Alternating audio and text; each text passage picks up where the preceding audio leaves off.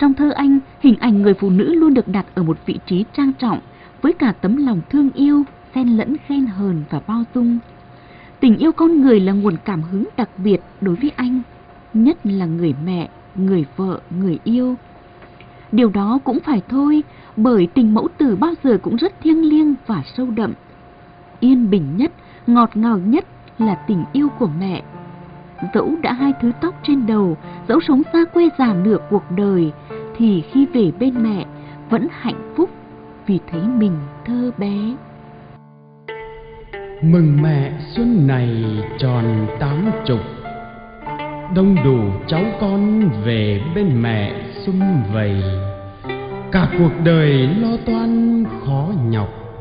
Hẳn mẹ rất vui có những phút này tám mươi năm chất nặng vai gầy, Mẹ vẫn thẳng lưng giữa đàn cháu nhỏ Xua thần chết từng mấy lần gõ cửa, Mẹ lại ngồi đây chậm rãi nhai chồng.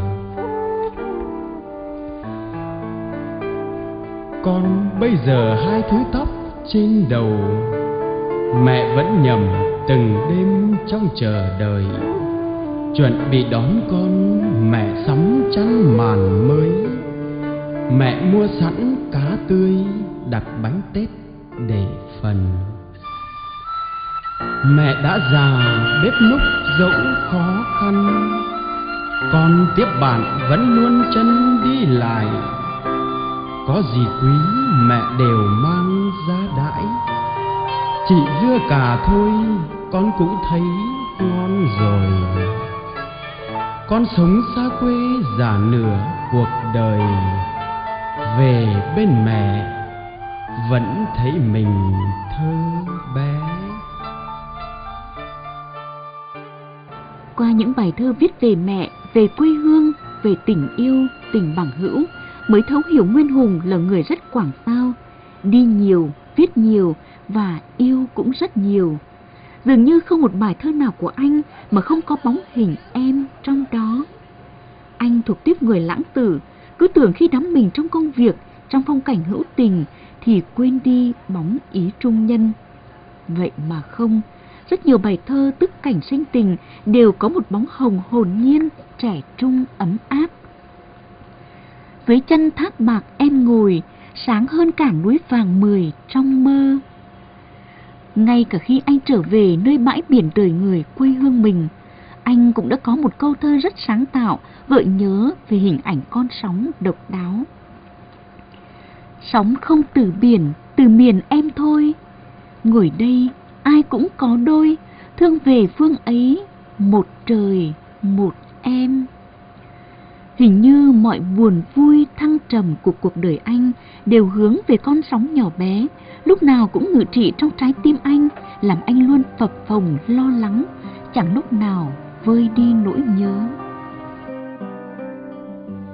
Anh hạnh phúc mỗi sáng mai thức dậy Được ngắm em thánh thiện trắng ngần Được mân mê từng sợi tóc ngón chân Hôn đôi mắt sau làn mi đang khép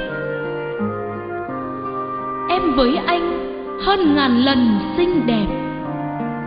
Tình yêu em báu vật đời anh. Tâm hồn em là dòng suối trong lành. Anh ngục lặng cho hồn mình trẻ lại. Em bên anh là nồng nàn êm ái, Là dịu dàng ra giết một vòng tay. Em của anh yêu dấu nhường này Anh xin giữ cho riêng mình mãi mãi.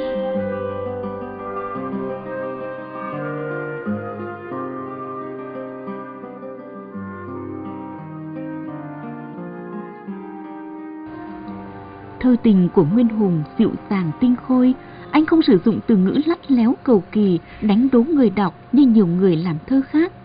Đọc thơ anh, người thơ dễ hiểu, dễ cảm nhận, thấy được tình người chan chứa trong từng bài thơ. Lời thơ ngắn gọn có giai điệu, tứ thơ rõ ràng truyền cảm như nói dùng nỗi niềm của bao người về những tâm trạng yêu thương nồng nàn, nhớ nhung xa xiết và cả hờn ghen trách móc một cách độ lượng bao dung. Tất cả đều xuất phát từ ngọn nguồn của tin yêu. Có lẽ đấy chính là lý do mà thơ Nguyên Hùng được các nhạc sĩ đồng cảm để viết nên nhiều tác phẩm phổ thơ. Với gần 20 bài thơ được phổ nhạc và không ít trong số đó đã chiếm được cảm tình của đông đảo bạn yêu nhạc như ca khúc Chẳng thể quên, Hạnh phúc, Tiếng hát em, Cánh buồm thao thức, Sóng không từ biển, vân vân. Nguyên Hùng là một người có sự nghề xa xứ thành đạt, có nhiều thành đạt trong lĩnh vực là khoa học kỹ thuật. Anh là một tiến sĩ về ngành điện xây dựng. Nhưng mà anh là một người yêu thơ và làm khá nhiều thơ. Anh đã xuất bản hai tập thơ Cánh buồm thao thức và Sống không từ biển. Thì thơ Nguyễn Hùng là như một cái lát cắt của cuộc sống, của một cái tình yêu của mẹ, của em, của quê hương. Nguyễn Hùng là người học nhiều, biết nhiều, đi nhiều. Anh đã từng dịch thơ của Nga. Nhưng xem ra cái tổ chất của người con xứ nghệ vẫn không mất đi. Những bài thơ được của anh, những bài thơ hay của anh đều có cái yếu tố, đều có cái cách nói của người dân xứ nghệ. Bên cạnh những bài thơ cho em, người đọc dễ nhận thấy anh là người có nhiều bầu bạn tâm giao. Tình cảm của anh đối với bạn Văn chân thành. Anh viết khá hài hước, chọc kẹo nhau nhẹ nhàng hóm hình. Chỉ cần vài câu thơ chấm phá thôi, gương mặt bạn bè đã hiện lên rõ nét qua cái nhìn của anh. Và bè bạn đều nhận được từ anh những tình cảm mến yêu trân trọng qua các phát thảo ngắn gọn và khá độc đáo.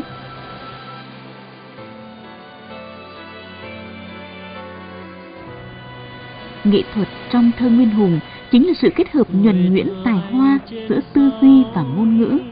Nhưng dường như anh không quá đặt nặng vào hình thức nghệ thuật, mà mỗi bài thơ của anh là một tấm chân thành đầy xúc động, một câu chuyện đời anh tự kể, một khoảng lặng thẳm sâu của sự cảm nhận về những điều rất đời. Đây có lẽ là điều đã làm nên sự thành công của thơ anh. Thơ anh mang mắc hóa những hờn tủi, ảo mộng hóa những nỗi đau và triết lý hóa những điều bất toại. Những câu thơ luôn chân thành mộc mạc như người miệt biển xứ nghệ. Những câu thơ như nói, tiếng nói bộc trực, rất thơ mà cũng rất đời. Chính sự thành thật hồn hậu đó mà thơ anh tìm được đến với bao tấm lòng, bao tình cảm tri ân. Chắc hẳn khi cầm trên tay hai tập Cánh buồm thao thức và Sóng không tử biển, người yêu thơ sẽ hiểu thêm về Nguyễn Nguyên Hùng, một con người của quê biển Cửa Lò, tiến sĩ ngành xây dựng thủy công tại Liên bang Nga, hiện sống và làm việc tại thành phố Hồ Chí Minh, là hội viên hội thơ xứ nghệ tại thành phố Hồ Chí Minh. Và xin được mượn hai câu thơ của anh để khép lại chuyên mục giới thiệu tất cả tác phẩm ngày hôm nay. Biển ngủ rồi ta chưa hít tròng trành, con sóng giữa lòng ta vẫn dâng trào lên mãi. biển và em